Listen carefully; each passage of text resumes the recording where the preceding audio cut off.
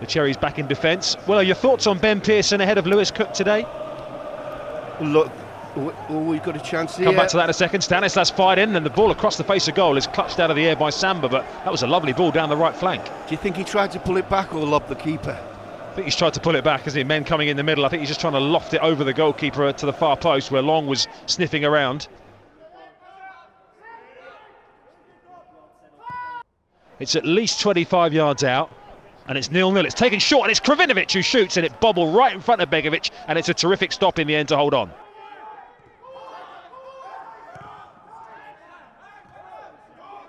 Cafu is booked after 11 minutes. The first uh, of the players into the referee's notebook as Bournemouth play a short corner, left side of the box. They saw a two on one, and here's Stanislas. Drives it across the face oh. of goal oh. and past everybody from junior Stanislas. I think he was trying to bend that in the far post himself, yeah. and unfortunately for him, it went past the post and past everybody else. Love it. Great set play. Stanislas just trying to kill it into the far corner. Oh, just didn't get enough whippage on it for it to come back.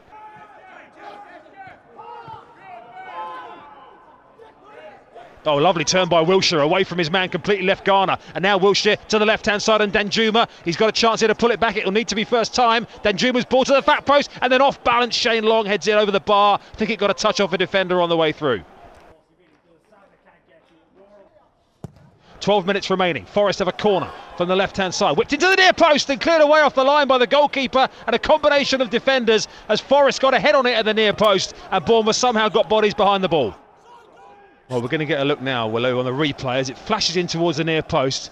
Glenn Murray got the header on it and it cleared off the line by Pearson with his left thigh.